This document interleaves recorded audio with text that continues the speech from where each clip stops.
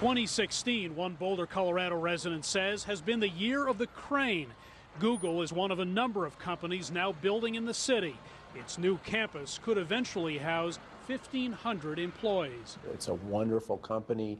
Their workforce is the caliber of talent that we uh, pride ourselves on here in Boulder. Boulder Chamber President John Tayer says for the past decade, Google has pumped tax dollars into the area and been a net plus to the community. It's a wonderful boost to our economy. This is a pretty picture for those who want to stimulate a city's economy, but as often happens, what appears like progress to many is a bit less attractive to others. Oh, very exasperating. When Mary Green first moved to Boulder, she had to start out living in a trailer. This was the first time that I couldn't find anything that I could afford.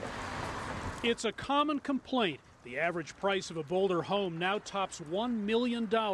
Rental properties have become quite costly too. I think the national perception of Boulder is that's kind of the place that has it all. But Boulder Housing Partners Jeremy Durham says the city has a severe shortage of places like Diagonal Court government subsidized affordable housing that 36% of Boulder residents now qualify for. It's a need that the market used to meet, um, and now it no longer does. Boulder is a, a main attraction for a lot of uh, people with wealth. It's Economics 101, one expert says, with limits on construction in the city. As demand has taken off here, so have prices. I think Boulder's probably one of the most aggressive cities in the country for affordable housing but you're just not going to be able to construct enough of it given the underlying economics. We have a lot of tools that we're trying to employ. Durham says his organization is doing what it can to prevent people who help keep Boulder running from getting pushed out of the city. It sometimes feels like we're just bursting at the seams. And there's a lot of value